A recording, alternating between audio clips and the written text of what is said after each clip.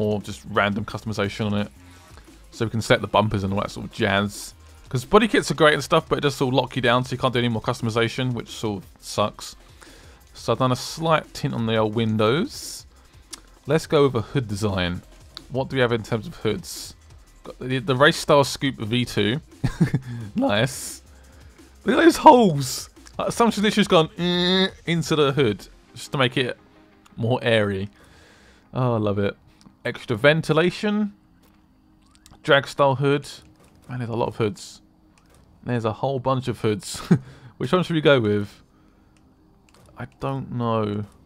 I might go for that, because it's O dramatic, a little bit stupid, and also great. I've got half a million now, which is quite a lot of money. Oh shit, lights. Oh yes, headlights. Oh yes. I'm sorry, that's it's so obvious. I'm going with that. Spotlights, like a rally style awesomeness. Love it. Right, front bumper. What do we have available? We have those two.